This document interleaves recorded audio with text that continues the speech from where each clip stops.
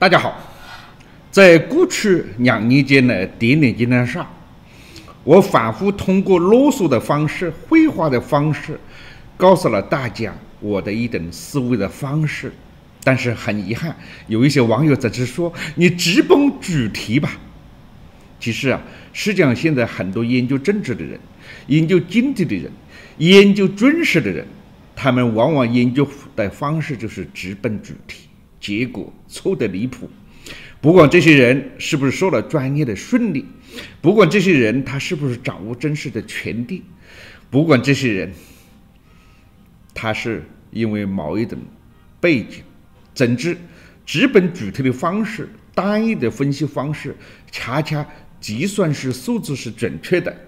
计算是某一个事实是真实的，但是因为他采取的。不是结果的分析方式，不是采集的互动的方式，不是采集的是流动的流动的分析方式，所以很容易会有正确的资料得出了错误的结论。当然，要讲这些事情好像有一点悬。简单的说，最重要的是，我们要诚实的面对，或者勇敢的面对我们不喜欢的资讯。但是是有可能会引起我们思考的资讯，而这一点很遗憾，有不少网友做不到。他们喜欢听，他们符合自己价值观、符合自己想法、符合自己理念的事实，久而久之，自己走到了一个胡同还不知道。但是我今天。不再讨论啊这样一种思维方式，而去展开这两天大家特别关心的几件事。第一件事情，就是在过去至少是半年以来，我反复讲了一个道理，就是我说美国的经济面确实不错，但是呢，也不像大家评估的那么好。中国的经济。有很多问题，但是不想让让大家想的那么悲惨，所以我说，展望未来一些时间，尤其是二零一九年，啊，中国不但不会出现经济崩溃，而且由于它结构性的主动调整，对债务的泡沫的压缩。使它的经济啊的膨胀、恶性膨胀得到一定程度的遏制，所以良性的回升奠定了一些基础。那么，现在中国过去一些天啊，股票已经在温和的回升，而很多经济数字显示出来，远远超过经济学家、商人们或者是政客的预期。中国现在今年第一月份的出口啊，这个跟去啊跟去年同跟零九年啊同期相比啊增加了百分之九啊，那么美国往中国的投资一月份增加了百分之一百二十四，而其他国家可能增幅更大一点。比如像欧洲的荷兰，增幅是达到了百分之九十。中国的进口有所减弱，也比较轻。当然，这些数字啊，还需要更长的时间来比较它的真实的含金量，因为有春节啊，有季节性的因素在里面起一些作用。但是呢，它至少显示了一点，情况未必像大家想象的那么差。而美国呢，因为政府关门，所以由政府产生的权威的某一些数字啊，没办法立即呈现出来。不过今天所得到的美国啊可信方啊可信的机构所得出来的十二月份的啊零售消费的这个啊数字啊下降了这个百分之。一点几，啊，百分之一点一点二啊啊，百分之一点二，当然是相比十一月份比啊，按照道理讲，十二月份和十一月份啊都应该是比较好的啊消费消费季节啊，十一月份啊开始感恩节，十二月份开始圣诞节，呃，这个主要是人们啊对经济的这个预期啊有所啊下降啊，老百姓的荷包。那是一等啊情绪的真实反应啊，在这个消费的这个零售的指指数上面，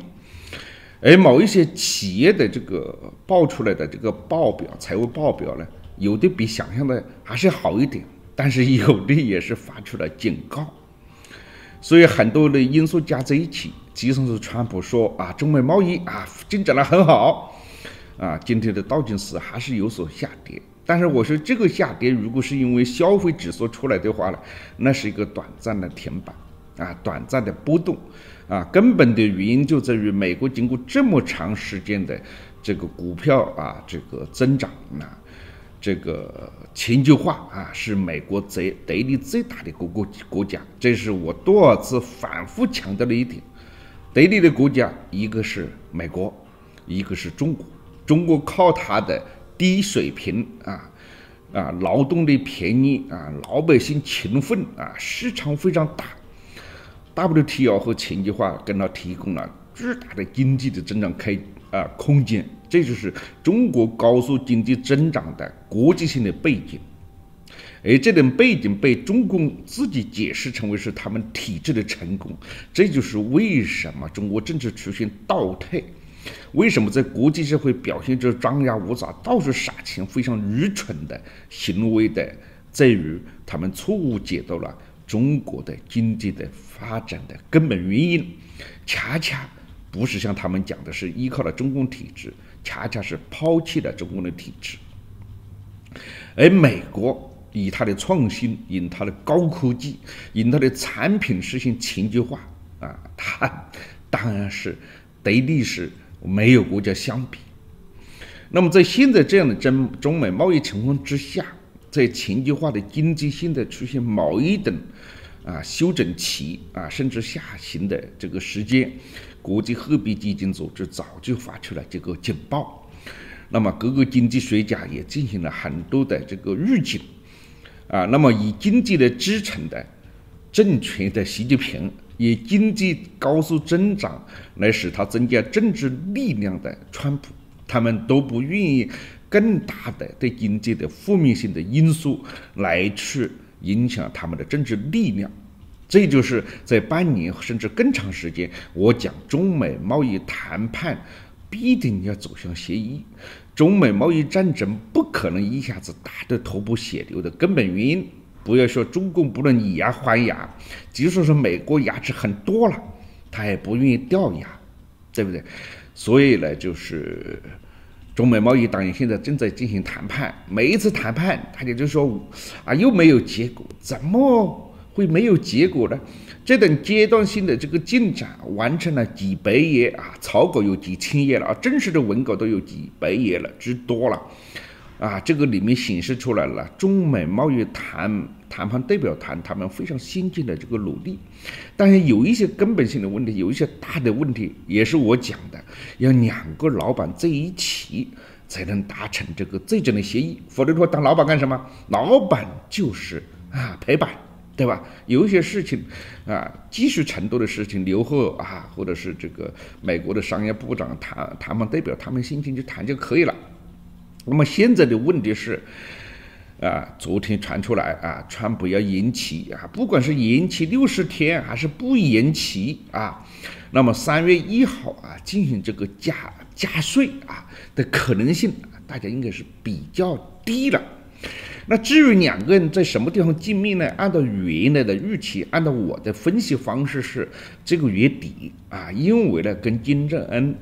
见了面以后，川普就。再顺便就跟习近平呢见见面，没有想到啊，朝鲜问题啊比原来预计的要复杂，川普也承受多啊多层的这个压力，因为大家都不相信金正恩真的会走向无核化。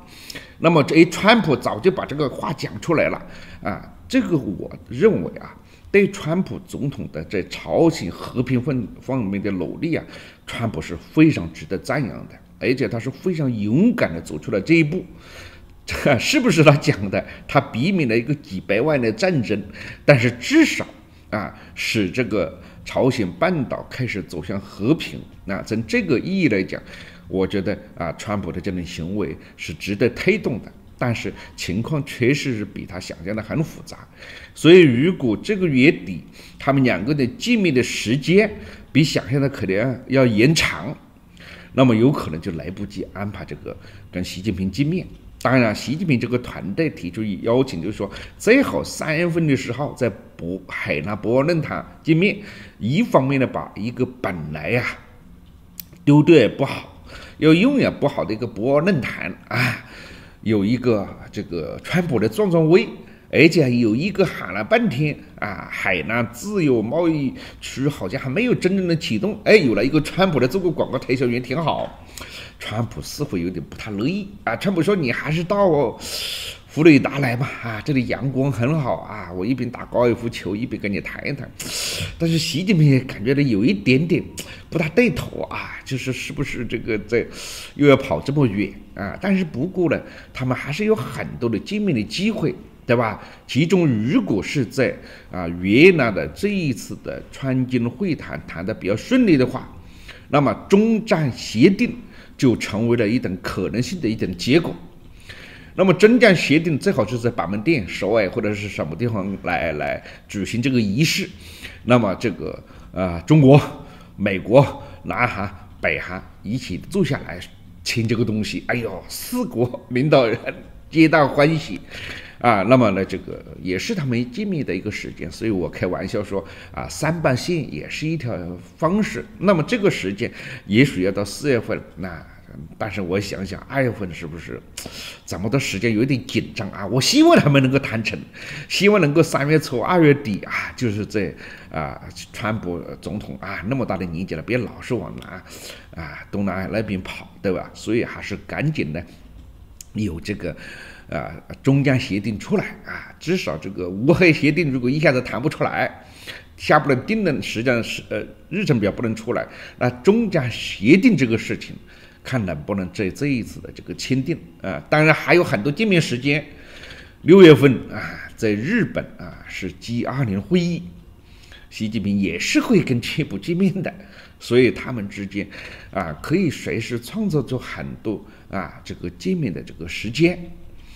但是呢，我也是反复讲了，中美贸易这次谈判就算是达成协议啊，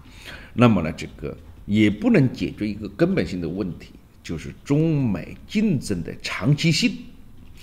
有人喜欢把它变成意识形态化，我在一定程度上承认，甚至我很早就讲了，这是一个野蛮与文明的竞争。因为中国虽然经济有了发展，但是中国毕竟没有走向政治文明，没有走向啊一个自由开放的一个社会啊，所以呢，把它列为野蛮国家也不为过。但是中美之间的竞争不仅仅是意识形态的竞争，我觉得从整体来讲啊，我有几个判断，在顶礼纪念室里面曾经讲过，未来我还要继续讲，那就是人类的热战就是以暴力为主要特征的啊，修斯底德陷阱式的这种热战模式已经结束了。全球性的世界大战几乎不可能啊发生了，以意识形态和柏林墙为标志的冷战也不可能会发生，全球性的宗教性为特征的这样一等文明冲突，未来也不像大家想象的那么严重，但是全球化的过程中间。和在前期合作的过程中间存在的问题，确实最近几年令人担忧。其中最主要的特点就是民粹主义的出现，人们对强人又表现出了某一种迷恋。川普总统当然是有一种强强人的姿态，这也是由于他的强悍的作风，能够得到很多的民众热情支持的一个很重要的背景，因为他敢于向官僚系统、向权贵系统啊表现出他某一种改革的一种热心。但是，川普总统同时对政治强人的一种热心，又是很多人担心。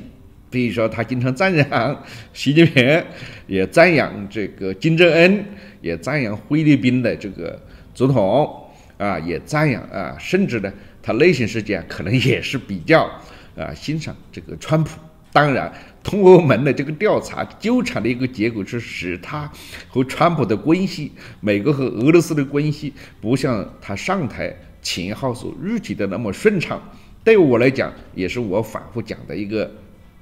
一个原因啊，我也就陈述了很多这样的一讲了很多次，但是在与此同时啊，就是川普在和金正恩和好谈判，跟习近平的这个中美贸易谈判也进入了一个可以预期往好的方向发展的进展，他的通俄门调查。啊，美国参议院的情报委员会显示出来，没有证据啊，他跟通俄门啊，这个跟俄罗斯有这个出卖国家利益的勾结。但是呢，啊，美国的众议院司法委员会还继续调查他的问题，而且独立检察官啊的调查还没有完全结束。所以，川普的麻烦不少。川普还有一个麻烦。就是跟网友之间的一种关系。早一段时间，不是早一段时间，早几天，我呢就转了一个德国之声的一个德国的一个民意调查。这个民意调查出来了，说德国人对中国人的好感啊超过了对美国的好感。这样的话，在我的推特上面引起很多网友的愤怒。开始质疑这个调查机构啊是不是问题？开始质疑这个德国是不是又法西斯来了？所以跟中共混在一起。大家没有注意到，这个调查机构恰恰是一个亲美的调查机构，而这些民意调查的结果，恰恰是是给美国和德国关系发出一个警报。而这个警报恰恰是为美国和德国要修复关系的一个指引。就像昨天有一条消息，啊，《世界日报》啊引用美国国防部的一个报告，说这个美国国防部认为中共的这个太空的啊军事能力增强。那么这个消息，这个推在上面，马上就有网友说这就是新华社的报道。这个我早就跟大家讲了，美国国防部。就是有有一点想夸大中国的军事能力，因为他们是军事机构，他们要经费，对不对？而且他们作为一个负责任的这个军事力量来讲，保护全球安全、保护美国利益来讲，他们就是要做出更多的准备去对付这个敌手，而不像我们想象中间那么一个简单。德国为什么会对中国的态度的有呃？友善还超过了在美国了。其实这样的民调不仅是在德国，如果我没记错的话，几个月以前澳大利亚的一个民调也显示出某一些特征出来。所以我前面就讲了，我们不，我们必须要诚实去面对我们不喜欢的一些资讯。有时候你也看看这些资讯和数字后面是不是更有利于你去分析。那么这些欧洲和美国的这种友谊，虽然在门啊门罗主义时代啊，曾经在过去一段时间也有过很多的冲突啊，甚至有过战争，对吧？啊，但是呢，整体来讲啊，二战以后，尤其是冷战，西欧啊和美国完全是战略利益同盟，价值观一样，政治制度一样。啊，政治利益啊，军事力量一样，有所谓的北约，对吧？但是，由于川普啊，重新调整全球战略，也重新调整和欧洲的战略，所以出现像德国这样的改变，并不奇怪。最近就是今天吧，在这个。波兰华沙开这个会议，华沙会议五十多个国家参加，对吧？但是欧洲有两个最重要的国家判了比较低级的官员，外长都没有判，一个就是德国，离波兰那么近；一个离波兰也不那么远在这个法国也没有判出外长。所以昨天我转了一个台，就是说马克龙啊和这个川普的蜜月期、神秘关系期已经结束了。所以这也是，而且德国现在对这个。美国退出这个跟俄罗斯的中统导弹的这个条约事情，表现的很忧心，因为德国不能发展核武器，欧洲国家不能发展核武器，是因为有北约，同时有得到了美国的这种核保护伞的保护。但是你现在跟这样一种战略平衡的破坏，确实是令人这个啊，令德国感觉到忧心。当然，现在这个美国。在努力修复这个事情，在努力去啊重新鼓励啊太呃或者是啊去化解跟欧洲之间的一些问题。我们看到了啊这个美国的副总统啊彭斯先生在波兰，那么正在斯洛伐克啊访问的早几天啊在这个布达佩斯啊就是匈牙利访问的这个。国务卿蓬佩奥啊，昨天好像还见了罗马尼亚、见了克罗地亚的军人，这些地方都是我还比较熟悉的。欧洲的事情以后我慢慢跟他谈，尤其中澳，就是实信出来了这个这个美国这样两个重要的职务几乎同时在欧洲进行活动，啊，不是一个单纯的事情。同时，美国的代理国防部长现在正在啊布鲁塞尔啊发表演讲。布鲁塞尔的欧盟总部啊，有趣的是，欧盟的负责外交事务的高级代表，或者是欧盟的外交部长吧，啊，没有计划去准备去华沙开这个针对伊朗的这个会议，说是时间排不出来，所以呢，蓬佩奥可能还赶到布达佩斯啊，去这个跟这个欧盟的代表见面，所以怎么去修复欧洲的关系？这是美国现在最近在啊派了重兵，代理国防部长、国务卿和这个啊副总统。当然，彭斯啊又是很多人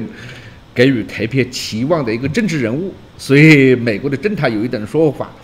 如果你不喜欢川普，但是你可能更不喜害怕这个彭斯上台。哎呀，彭斯啊！副这个副总统啊，不仅是参加一些宴会，或者是参加一些殡啊冰上活动啊，就是丧礼啊，而且呢，他喜欢发表演讲啊，喜欢参加学术性的活动啊，那么思考性的活动。几天以后啊，在华沙开完会以后，在慕尼黑，德国的慕尼黑有一个慕尼黑会议，那么中国的负责外事委员会的。啊，这个主任啊，办呃办公室主任杨洁篪政治委员也会去慕尼黑参加这个会，这个会是一个全球战略的思考会，就会思考到我刚才讲的那些事情，为什么会人们对强人有重新的热情？为什么冷战以后国际社会呈现出一个破碎的一种状况？这个事情比较学术性，过几天也许我会跟大家谈。也许大家就是，呃，看一看一些学术报告就可以了。今天的点点见的事有一点长长了，必须大家的接触。谢谢大家。